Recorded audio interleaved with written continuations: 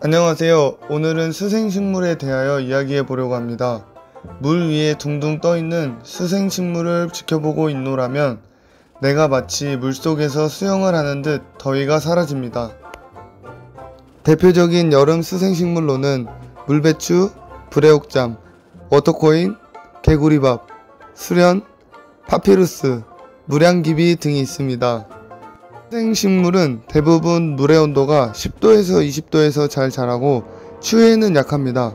겨울에는 하우스나 실내로 들여놓아야 여러 해를 살 수 있습니다. 요 아이의 이름은 워터코인인데요. 화분에 심어도 잘 자라고 수경 재배도 가능합니다. 물과 햇빛만 있으면 무럭무럭 자라 초보자도 키우기 쉬운 식물입니다. 잎의 모양이 동전을 닮았다고 해서 워터코인이라고 부릅니다. 봄에 한 포트를 3,000원에 구입했는데 나눠 심기를 해서 여러 개로 만들었어요. 아주 잘 번식한 게 보여지나요? 수생식물은 가격도 저렴하고 번식도 아주 아주 잘 됩니다.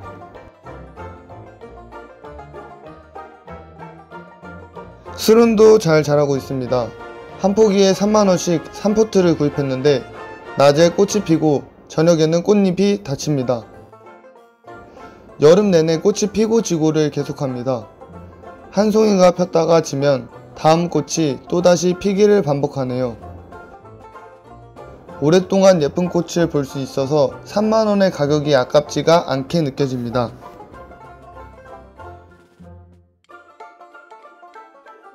파피루스 하면 고대 이집트의 종이가 떠오르지요?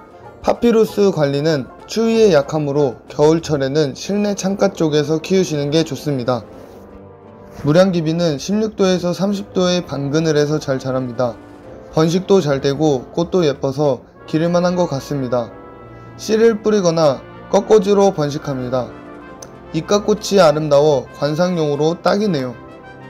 개구리밥과 물 개구리밥도 번식이 잘 되네요. 수련이나 불애육잠, 무량기비를 사다가 물에 띄워 놓으면 언제 따라왔는지 하나둘 눈에 띄다가 언제부터인지 번식에 가속이 붙더니 물의 표면을 가득 메우네요. 번식 아주 대단히 빠르네요.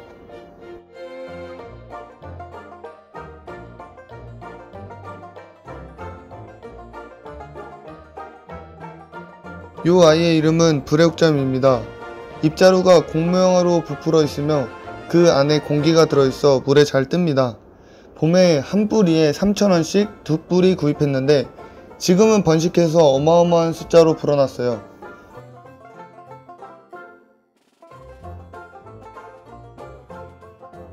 불애옥잠 꽃은 8월에서 9월에 피는데 연한 보랏빛으로 참 예뻐요. 이웃님들도 수생식물 구경하시면서 더위를 잠시 잊어보시는 건 어떨까요? 가격도 저렴하고 번식도 잘 되고 키우기도 쉬운 수생식물 이번 여름에 한번 키워보시라고 권해드립니다. 오늘도 즐거운 날 되세요. 시청해주셔서 대단히 감사합니다.